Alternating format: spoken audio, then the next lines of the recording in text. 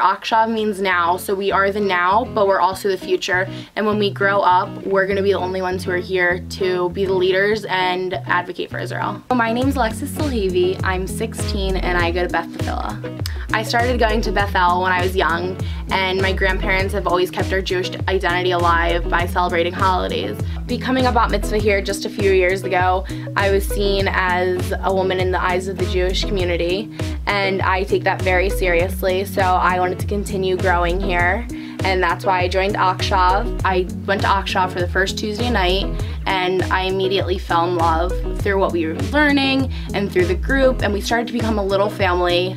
I consider every one of them like a brother and sister to me and I think everyone's able to see that when they walk in the room. You can automatically feel the energy and see the love we have for each other. We were all having the best times of our lives just hanging out at Hebrew school on a Sunday.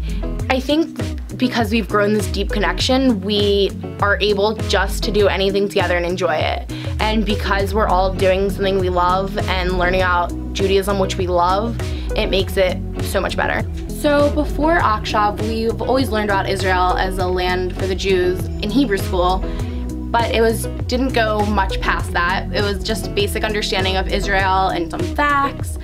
So I knew that I should love Israel and I was given kind of ideas of why, but being there, I felt different. I felt like I was at home. So I think by going AIPAC, we'll be able to make a difference. My personal goals for the conference are to meet with different congressmen and women to talk about why they should vote to positively influence Israel. I'm gonna show them why I think people in Israel should have a safe home and why people like me who are Jewish need a land where they can go home. So besides the great learning and education, I love being here with all of my friends and Amy and Jason and Dr. Bohr. I can guarantee you that 100% without a doubt we will forever be friends. We are already making our next trip to Israel together and we are counting down the days until we can go birthright together.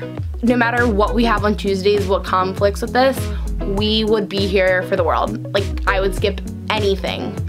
Hours of homework that I need to do, I would be at Achshav no matter what. My Tuesday nights are definitely the best nights of my week.